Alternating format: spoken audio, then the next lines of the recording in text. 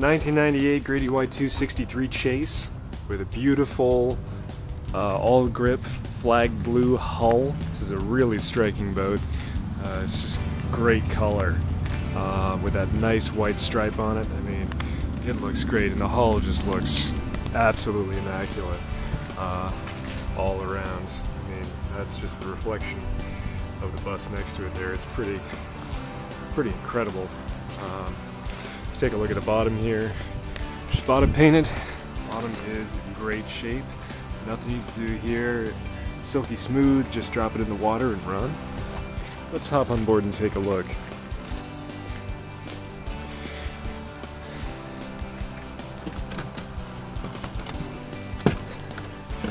This boat's in really nice shape. Uh, you know, just everywhere you look, all the glass is solid. I don't see any signs of any kind of water intrusion or anything like that. It's really clean. Uh, and uh, you look here on the back, we've got twin 200 OX66s. Uh, these motors are actually year 2000. The boat was repowered uh, by the original owner, and uh, most likely that was for a little more power options. Get some bigger engines on this boat, so it really goes. It's got the optional live well, recirculating live well, right behind the bolster seat here. Tons of rocket launchers. T-top is also matching flag blue. It's in great shape as well. Uh, come up here to the helm station. We've got Chop Fish Finder combo, Garmin, and nice Horizon stereo system. See just everything on it. That windshield, crystal clear. It's got the isinglass enclosure, which is in nice shape, and uh, just everything on this boat is in really, really nice condition. It's got a windlass on it, you see here. Uh, of course, we've got Bennett trim tabs, and uh, everything else you might need. VHF there in the electronics box your lighting. We pop up here to the bow area. Cushions are not on the boat right now. This is, boat is uh, still in winter storage. But uh, what you can really take a look at here is just what kind of nice shape everything is. I mean, you don't see any sign of any kind of water intrusion, rust, or anything that needs to be rebed or resealed. The uh, non-skid is all in pristine shape all around the boat. Take a look in here. Hatches are smooth, clean. There's your isinglass enclosure in good condition. Take a look over here. Just see how clean all these compartments are. You can separate that out. Use one for fish and one for your cold drinks. Pop up here. You've got a secondary anchor, your anchor locker. Horizon windlass.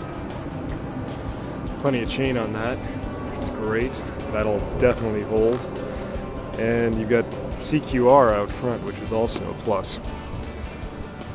Gonna take a look back here at the console, and you'll again see it's just it's in really nice shape. Most of the boats this age just don't look this good. This boat has been really well taken care of. Uh, you know, shrink wrapped in the winters. No cracking, no crazing on the fiberglass or anything like that. I mean, it just it's just in wonderful condition. It does have a console head, you can see in here. There's actually a ton of room, and uh, it's got a porta potty, plenty of space, plenty of storage too, all over the place, and console access. Hop on back here. We've got another bait well right here on the transom. Here's your battery switches on the stern. Everything's really clean. Gunnel storage, wash down. Additional storage compartment here that opens up. Tons of storage on this boat, tons of access. You also have cockpit faucet, great feature to have works great. And that is about it. Uh, that's the boat. The one thing that I'd say she does need is, uh, you know, probably reupholster some of these cushions. probably get away with the season for it, but that's that's really about it. Compared to the others on the market, this is the cleanest one you're going to find. Uh, it's got that nice power option, those twin 200 OX66s. It's the best engine, much better engine than most of these have on them. Uh, and, uh, and that's about it. And that beautiful flag blue hull. Nothing like that. You're not going to see another Grady like that on the water. Um, that's it. Great boat. Great boat for summer fun. Fishing with your friends.